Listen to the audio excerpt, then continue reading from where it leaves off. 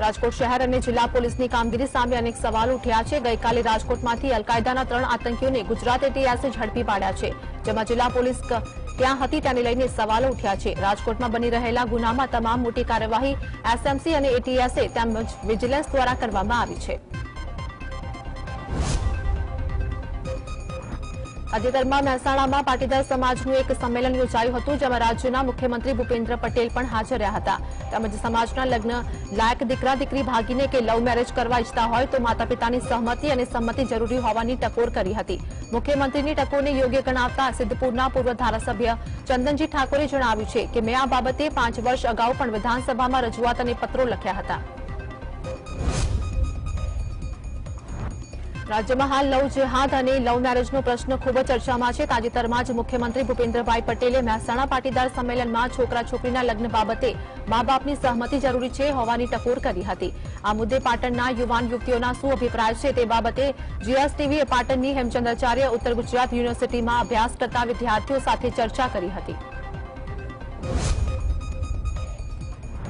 પાટણ સિદ્ધપુર ચોકડી પાસે બ્રિજનું નિર્માણ થતા ટ્રાફિકની સમસ્યાનો આંશિક ઉકેલ આવ્યો છે ત્યારે હવે રોડ ઉપર કેટલાક સુરક્ષાના ઉપાયો પણ લેવામાં આવ્યા છે હાલ પુલ નીચે સફેદ કલરથી ચોકડીઓ પાડવામાં આવી છે જે વાહન ચાલકો માટે ટ્રાફિકને અનુરૂપ છે પરંતુ મેટ્રો સિટી જેવું પાટણમાં ટ્રાફિક સંચાલન થતું નથી એટલે કે વાહન ચાલકો ચોકડી સફેદ પટ્ટાને ગંભીરતાપૂર્વક ધ્યાને લેતા નથી આખરે વડોદરામાં મહારાજ સયાજીરાવ યુનિવર્સિટીમાં વિજિલન્સ સેલનું વિસર્જન કરાયું અને સિક્યોરિટી માટે નવો કોન્ટ્રાક્ટ આપવામાં આવ્યો. છ પૂર્વ પોલીસ કર્મચારીઓને ઘર ભેગા કરવામાં આવ્યા છે, જ્યારે અન્યોના માથે લટકતી તલવાર જેવી સ્થિતિ છે. યુનિવર્સિટીમાંથી પઠાણ ગેંગને હાંકવામાં વિજિલન્સનો સિંહ ફાળો હતો. અરવલ્લીમાં કન્ઝેક્ટિવિટીસના રોગમાં વધારો થયો છે. મેઘરજના હરિઓમ આશ્રમ શાળામાં ઓગણચાલીસ વિદ્યાર્થીઓને આંખના રોગની અસર જોવા મળી હતી. તમામ વિદ્યાર્થીઓ પાસેથી આંખ દુખાવાની અને લાલ થવાની ફરિયાદ મળી હતી. તેથી તમામ વિદ્યાર્થીઓની મેઘરજ સરકારી હોસ્પિટલમાં તપાસ કરી દવા અને ચશ્મા આપવામાં આવ્યા હતા. પ્રભાસ પાટણ પોલીસ કોન્સ્ટેબલ અને જીઆરડી જવાનોની ઉમદા કામગીરીએ લોકોના દિલ જીતી લીધા છે. સોમનાથમાં ત્રિવેણી સંગમમાં સિત્તેર વર્ષના માજી ડૂબવા ગયા હતા. ત્યારે દરમિયાન તેમને બચાવવા છ જવાનો દરિયામાં કૂદ્યા હતા. તે દરમિયાન આ પોલીસ જવાનો તારણહાર બનીને આવ્યા હતા.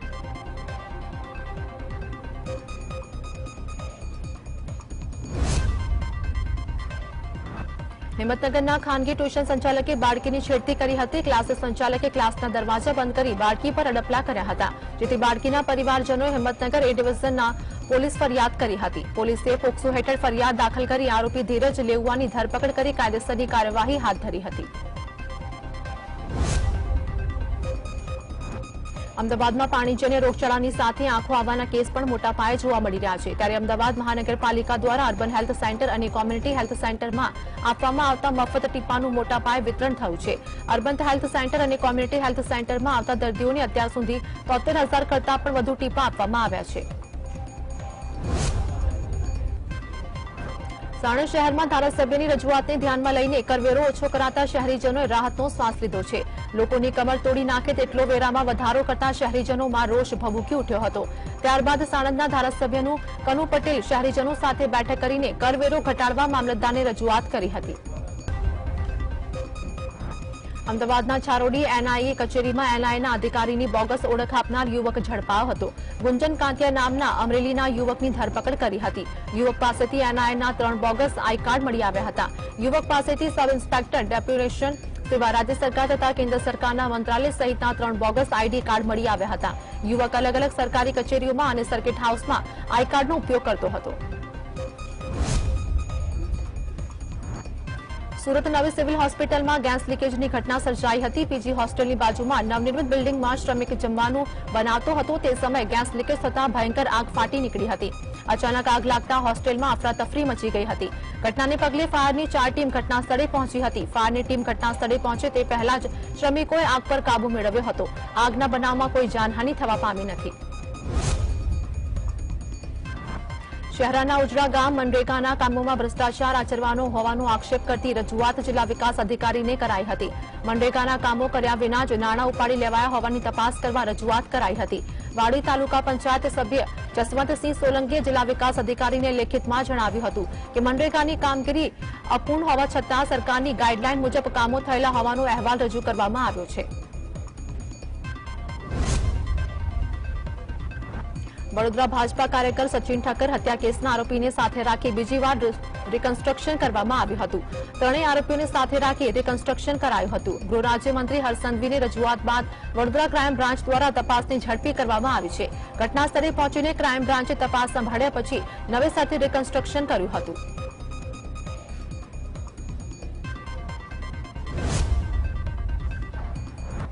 રાજકોટના સોની બજારમાંથી પશ્ચિમ બંગાળના રહેવાસી એવા અલકાયદા સાથે સંકળાયેલા ત્રણ શખ્સો ઝડપાતા વેપારીઓમાં ફફડાટ ફેલાયો છે વાત એમ છે કે વિશ્વમાં સોના ચાંદી અને ઇમિટેશનના ઘરેણામાં બનાવવામાં બંગાળી કારીગરોની આગવી ઓળખ છે પરંતુ એવું પણ બને છે કે આ કારીગરો વિશ્વાસ કેળવી સોનું ચાંદી લઈ રફુચક્કર થઈ જાય છે અમદાવાદમાં જ્યોતિષ બનીને ઘરમાં પૂજા કરવાના બહાને મહિલા સાથે દુષ્કર્મ કર્યાની ઘટના સામે આવી હતી નિકોલ વિસ્તારમાં રહેતી મહિલાએ ઘરમાં સત્યનારાયણની કથા કરવા માટે નવા નરોડામાં રહેતા બ્રિજેશ ત્રિવેદીનો સંપર્ક કર્યો હતો આરોપી મહિલાના ઘરે પૂજાના સામાનનું લિસ્ટ આપવાના બહાને ગયો હતો તે દરમિયાન મહિલાની એકલતાનો લાભ લઈને તેની સાથે દુષ્કર્મ આચર્યું હતું જે અંગે નિકોલ પોલીસે પૂજારીની ધરપકડ કરીને આગળની કાર્યવાહી હાથ ધરી છે વડોદરાના કોટા ગાર્ડ સર્કલ પાસે વૃંદ કોમ્પ્લેક્સમાં એક સાથે નવથી દસ જેટલી દુકાનોના તાળા તૂટ્યા હતા. તસ્કરોએ દુકાનોમાંથી રોકડની ચોરી કરી હતી. ચોરીની ઘટનાના સીસીટીવી ફૂટેજ સામે આવ્યા છે. સોમવારે મોડી રાત્રે દુકાનોના તાળા તોડીને હાથ સાફ કર્યો હતો. એક જ રાતમાં દસ દુકાનોના તાળા તૂટતા પોલીસ પેટ્રોલિંગ ઉપર સવાલ ઉઠ્યા છે. સુરત ક્રાઇમ બ્રાન્ચે અલગ અલગ ગુનાઓમાં નાસ્તા ફરતા આરોપીઓને ઝડપી પાડવા ડ્રાઇવનું આયોજન કર્યું હતું. અત્યાર સુધીમાં ડ્રાઈવ અંતર્ગત ઘણા આરોપીઓને પકડવામાં સુરત ક્રાઇમ બ્રાન્ચને સફળતા મળી છે. વર્ષ બે હજાર ત્રણમાં ઓલપાડ પોલીસ સ્ટેશનમાં દાખલ થયેલા ટેમ્પો ચોરીના ગુનામાં એકવીસ વર્ષથી નાસ્તા ફરતા આરોપીઓને ક્રાઇમ બ્રાન્ચે ઝડપી પાડ્યા છે.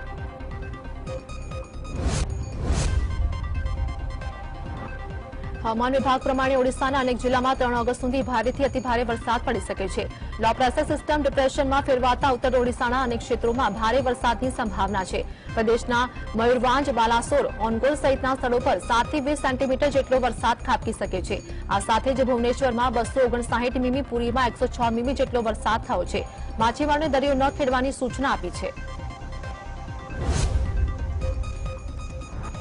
યુપીથી બિહાર સુધી મુસળધાર વરસાદ ચાલુ રહેવાની શક્યતા છે. તેમજ ઓડિશા, બંગાળમાં રેડ એલર્ટ આપવામાં આવ્યું છે. બુધવારે ઉત્તર પ્રદેશમાં ગાજવીજ અને વીજળીના ચમકારા સાથે વરસાદની સંભાવના સાથે હાઈ એલર્ટ છે. તે જ સમયે ઉત્તરાખંડમાં ભારે વરસાદ અને ભૂસ્ખલનનો ભય છે. હવામાન વિભાગે લોકોને સતર્ક રહેવા અને પોતાનો બચાવ કરવાની અપીલ કરી છે. તેલંગાણાના મુખ્યમંત્રી અને બીઆરએસ પાર્ટીના પ્રમુખ કે ચંદ્રશેખર રાવને જ્યારે પૂછવામાં આવ્યું કે શું તેમની પાર્ટી એનડીએ અથવા વિપક્ષી ઇન્ડિયા ગઠબંધનનું સમર્થન કરે છે ત્યારે તેમણે જવાબમાં જાણ્યું કે અમે કોઈની સાથે નથી અને કોઈની સાથે જોડાવા માંગતા નથી અમે એકલા નથી અમારા અન્ય મિત્રો પણ છે તેમણે કહ્યું છે કે આ ઇન્ડિયા અને એનડીએને જોયો છે તેઓ પચાસ વર્ષમાં સત્તા પર હતા પરંતુ કોઈ ખાસ પરિવર્તન જોવા મળ્યું નથી હરિયાણાના અનેક શહેરોમાં હિંસાના બનાવ બન્યા છે. ત્યારે દિલ્હીમાં પણ કાયદો વ્યવસ્થા ન બગડે તે માટે પગલાં લેવામાં આવ્યા છે. આ વિશે વાત કરતા દિલ્હી પોલીસના પીઆરઓ સુમન નાલવે જણાવ્યું છે કે સંવેદનશીલ વિસ્તારોમાં તકેદારીના ભાગરૂપે પોલીસ બળ તૈનાત કરવામાં આવ્યો છે. જરૂર પડશે તો વધુ પોલીસ ફોર્સ પણ ઉપલબ્ધ કરાવવામાં આવશે, જેથી કરીને રાજધાનીમાં કોઈપણ પ્રકારનો અનિચ્છનીય બનાવ ન બને. માહોલ બગાડનારા લોકો સામે કડક કાર્યવાહી કરવામાં આવશે. હરિયાણાના નુહમાં એક સરઘસ પર પથ્થરમારા બાદ હિંસા ફેલાતા તેની આગ રાજસ્થાન સુધી પહોંચી ગઈ છે રાજસ્થાનના અલવર બાયપાસ પર કેટલીક દુકાનોમાં તોડફોડ કરવામાં આવી હતી આ પછી અહીં પણ કલમ એકસો લાગુ કરવામાં આવી છે ગુરુગ્રામમાં પોલીસ દરેક ખૂણા પર તપાસ કરી રહી છે હરિયાણાના નાયબ મુખ્ય પ્રધાન દુષ્યંત ચોટાલાએ કહ્યું છે કે યાત્રાના આયોજકોએ જિલ્લા વહીવટી તંત્રને યાત્રા વિશે સંપૂર્ણ માહિતી ન આપતા આ ઘટના બની હતી કેન્દ્રીય મંત્રી અનુરાગ ઠાકુરે જણાવ્યું કે વિપક્ષી દળોના સાંસદોએ દિલ્હી સેવા બિલ મુદ્દે લોકસભામાં થનારી ચર્ચામાં ભાગ લેવો જોઈએ આ બિલનો વિરોધ કરવાથી કંઈ થવાનું નથી વિપક્ષી દળોના નેતા ચર્ચામાં જોડાશે તો તેઓ આ બિલના ફાયદા વિશે જાણશે આ બિલને બંધારણીય રીતે લાવવામાં આવ્યો છે સરકારે અગાઉ પણ ઘણા વર્ષોથી પેન્ડિંગ બિલ પસાર કર્યા છે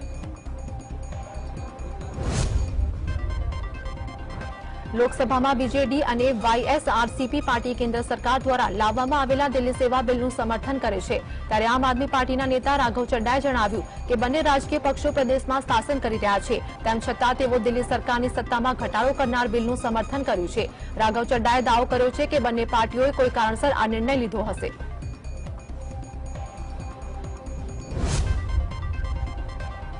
કેન્દ્ર સરકાર દ્વારા લોકસભામાં લાવવામાં આવેલા દિલ્હી સેવા બિલ વિશે વાત કરતા આમ આદમી પાર્ટીના સાંસદ સુશીલ ગુપ્તાએ જણાવ્યું છે કે જે પણ રાજકીય પક્ષો લોકશાહીમાં વિશ્વાસ રાખે છે તેઓ સદનમાં આ બિલની વિરુદ્ધમાં મતદાન કરશે ગુપ્તદાતાઓ દાવો કર્યો છે કે રાજ્યસભામાં આ બિલ પસાર થશે નહીં દિલ્હીના લોકોએ ભાજપને ત્રણ વાર હરાવી છે પરંતુ તેમ છતાં ભાજપ રાજધાની દિલ્હી પર રાજ કરવા માંગે છે આ કારણ છે કે કેન્દ્ર સરકાર આ પ્રકારનું બિલ લઈને આવી છે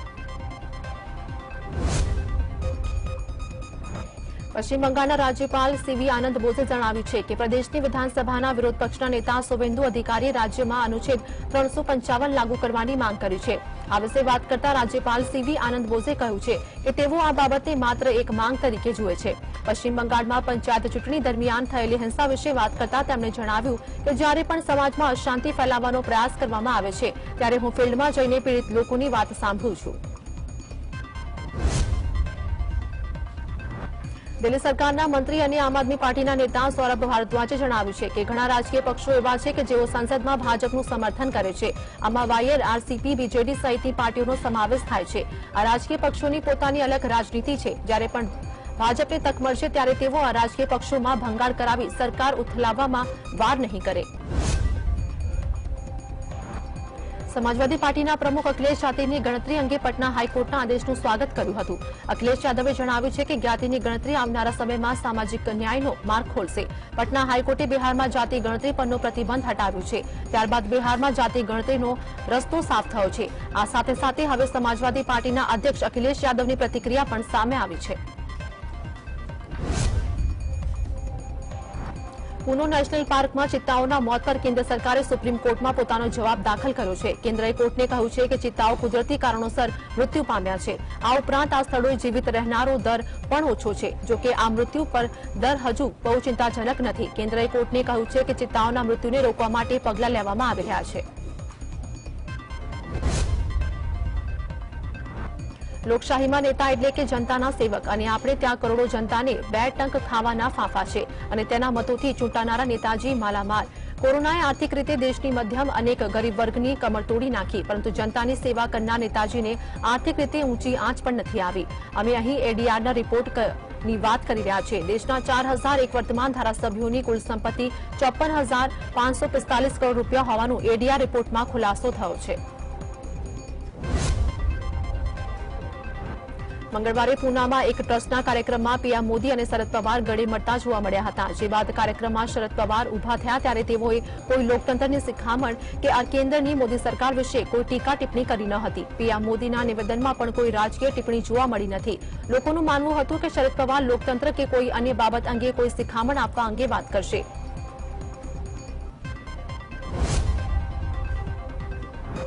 કેન્દ્રીય માર્ગ અને પરિવહન મંત્રી નીતિન ગડકરીએ આઈસીઈએમએના વાર્ષિક સત્રમાં જણાવ્યું છે કે જે રીતે માર્ગ અને રોડ પરિવહન ક્ષેત્રે વિકાસ કરવામાં આવ્યો તેવી જ રીતે ખાણ અને અર્બન ઇન્ફ્રાસ્ટ્રક્ચરમાં પણ વિકાસ કરવામાં આવશે આ ક્ષેત્રોમાં વિકાસ થયા વગર મોટા ઉદ્યોગ નહીં સરકારે લીધેલા નિર્ણયોથી દેશમાં રોજગારની નવી તકો ઊભી થશે ભારત સમગ્ર વિશ્વમાં સૌથી ઝડપથી વિકસિત થતું રાષ્ટ્ર છે પશ્ચિમ બંગાળમાં દર વર્ષે ધૂમધામથી દુર્ગા પૂજા કરવામાં આવે છે કોલકાતાના કુમ્હારટોલી નજીક આવેલી કલે મોડલ્સ કોલોનીમાં આ દુર્ગાની મૂર્તિ વિદેશમાં મોકલવામાં આવે છે આ વિશે વાત કરતા મૂર્તિ કલાકાર મિન્ટુ પાલે જણાવ્યું હતું કે આ વર્ષે મને ચૌદ ઓર્ડર મળ્યા છે જે પૈકી આઠ મૂર્તિ વિદેશ મોકલી આપી છે યુએસએ કેનેડા જર્મની અને ઓસ્ટ્રેલિયા સહિતના રાષ્ટ્રોમાં આ મૂર્તિઓ મોકલવામાં આવે છે મા દુર્ગાની એક મૂર્તિએ એક દિવસમાં અમેરિકાના ટેક્સાસ ખાતે મોકલવામાં આવશે ભારતને પાડોશી દેશ પાકિસ્તાન તરફથી વાતચીતની ઓફર મળી છે પાકિસ્તાનના વડાપ્રધાન શહેબાઝ શરીફે કહ્યું છે કે યુદ્ધ કોઈ વિકલ્પ નથી અને તેઓ ભારત સાથે વાતચીત માટે તૈયાર છે પીએમ શાહજાદ શરીફે કહ્યું છે કે જો ભારત ગંભીર હોય તો પાકિસ્તાન વાતચીત માટે તૈયાર છે શરીફે કહ્યું હતું કે અમે છેલ્લા પંચોતેર વર્ષમાં ત્રણ યુદ્ધ લડ્યા છે તેમાં ત્રણેય માત્ર ગરીબી બેરોજગારી અને સાંસદોની અછતને જન્મ આપ્યો છે યુદ્ધ હવે કોઈ વિકલ્પ નથી